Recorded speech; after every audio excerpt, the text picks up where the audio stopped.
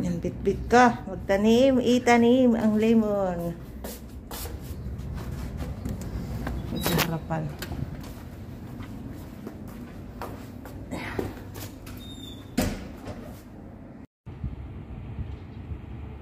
Meow.